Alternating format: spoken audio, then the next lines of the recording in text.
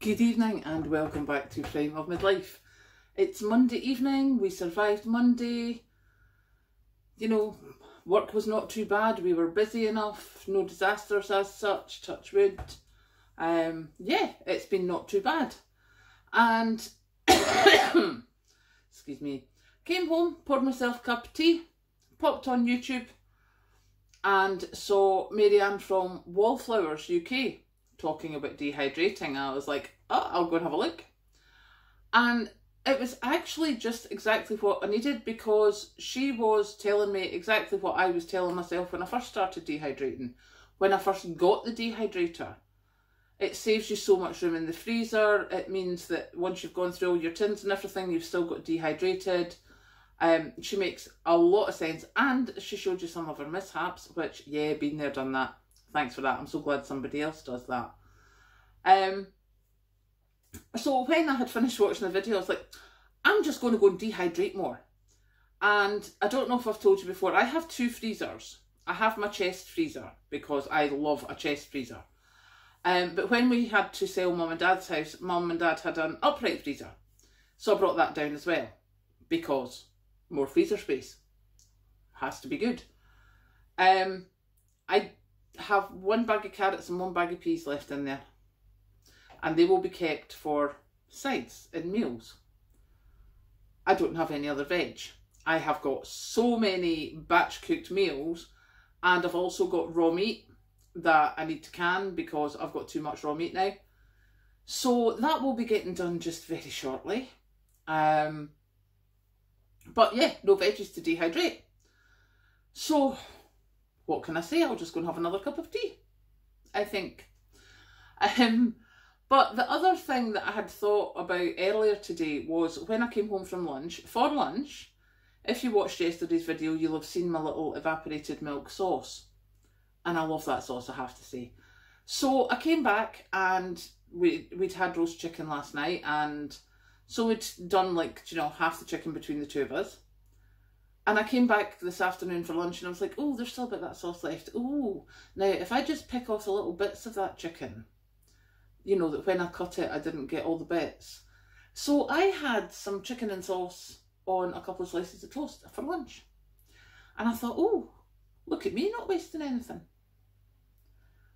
And then that sort of expanded my thoughts a wee bit, going, hmm, there was a whole thing that I had to change the way I shopped because of the waste that I was doing um, you know, intending to batch cook and not doing it because if I don't do it on specific days at the weekend, it just doesn't get done.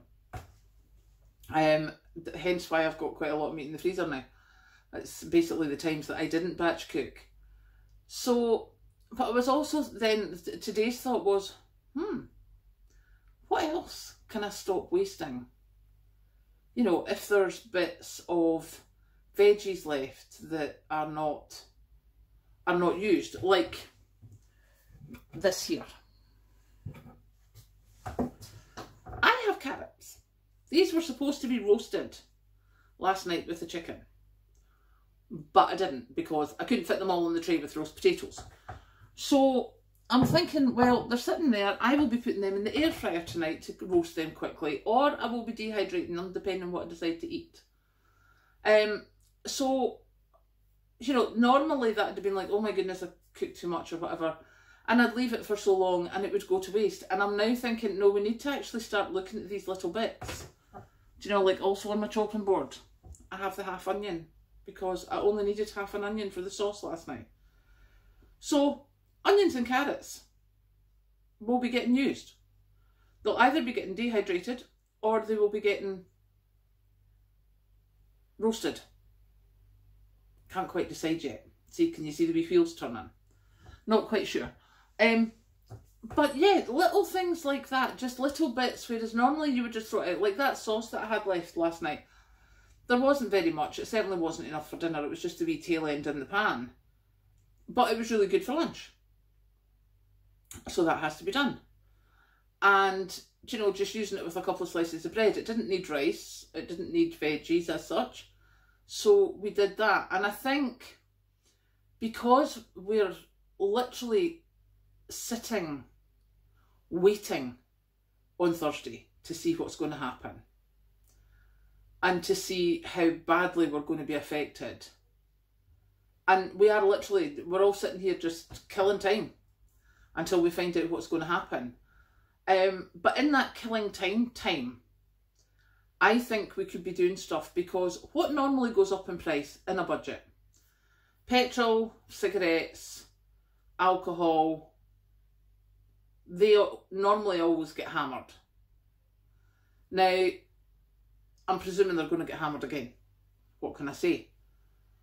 We're all right just now because of the electricity costs or the energy costs because we've got the allowances. But what happens if we don't get the allowances after, what is it, March they finish? Dehydrating would be a good thing to stock up more of because it takes less energy um, once we, we don't get the help.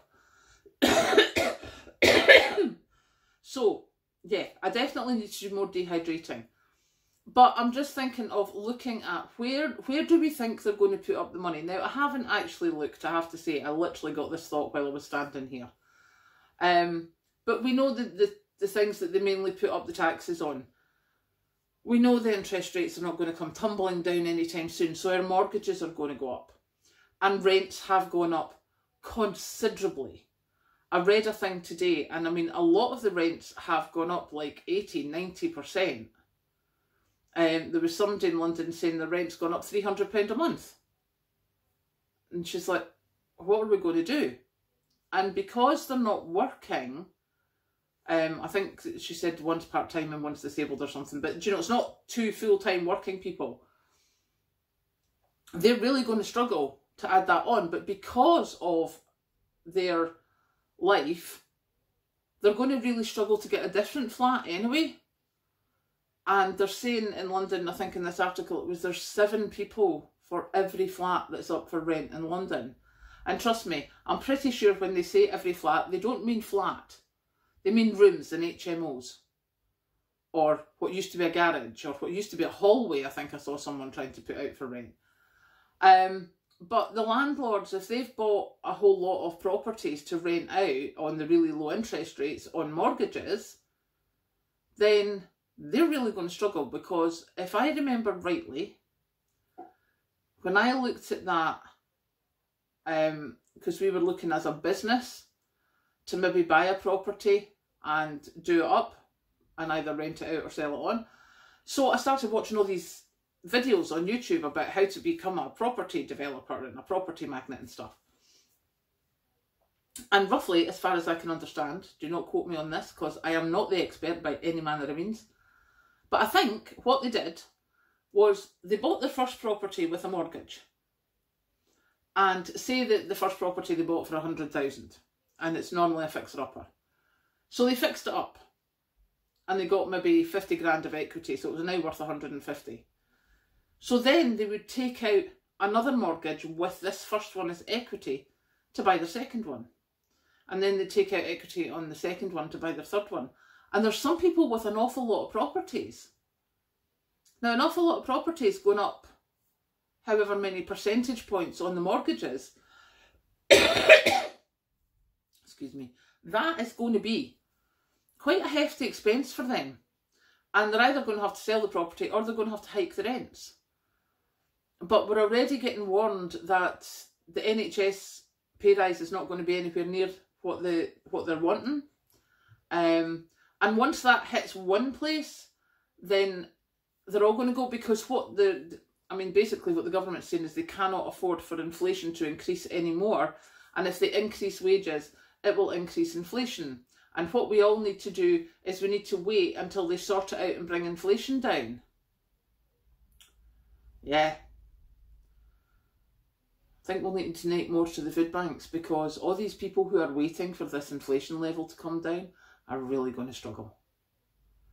Um, you know, prices are going up people's wages are not going up. So it's definitely, it's not going to be fun, I don't think. So yeah, I'm just, again, I'm rambling again. Basically because I just need to know. I need to know what's happening on Thursday. I need to know so I can plan, so I can make tick lists, so I can get myself organised. I really, really don't like knowing stuff. I like to know stuff. So yes, I'm I'm basically I'm sitting here getting antsy, going, going to just tell us instead of saying, oh, everyone's going to have to pay higher taxes, everyone's got. Just explain it to me. I need to know the answers. So yes, so that's me today. Monday night, I'm about to go and have a cup of tea, sort out my carrots and onions, which I think I'm probably going to put in the air fryer, and I'll have with some leftovers um, that I have from the weekend, and that'll be my dinner for tonight. And then I will have a clear conscience in the waste category. I will have a clear conscience in the energy category. And I will be ready for tomorrow. So there you go. I hope you've had a lovely Monday and I will catch you later.